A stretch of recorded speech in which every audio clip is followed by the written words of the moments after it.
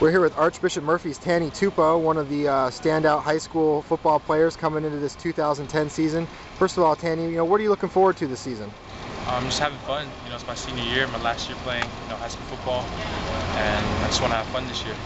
What are your goals heading into the season?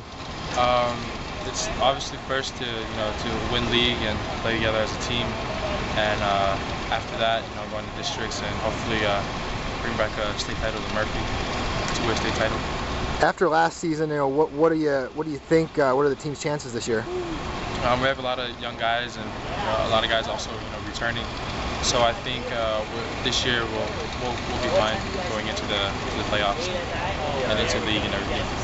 Now, as a UW commit, you know, seeing guys like Austin Seferian Jenkins, yourself, a couple other guys make that decision.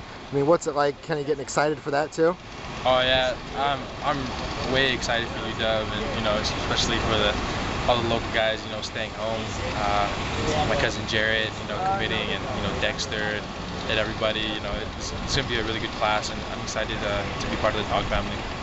And now you said uh, Jarrett's your cousin. Um, you know, talk a little bit about that, uh, your guys' relationship. Um, he's my cousin. He's basically like my brother. I've known him forever. Me and him, we played you know football together since we were little kids, and um, you know just to to be able to, to come back together and and play, you know, together at, at, at the U and play in front of our families. And, you know, it's it's a it's a great honor. Now we're talking about Juanita's uh, Jarrett Finau, who is uh, your cousin, and you know what's that like? I mean, you guys couldn't play together in high school, but to you know be going to the same school in college and to have that kind of family tie. Yeah, it's it's I, I'm really just excited for it just because you know I missed it during high school you know, being able to play with him because you know we played together when we were little kids, and it's just it's gonna. I think it's gonna be really fun. I'm gonna be excited to have my right hand man next to me. Thanks, Tani.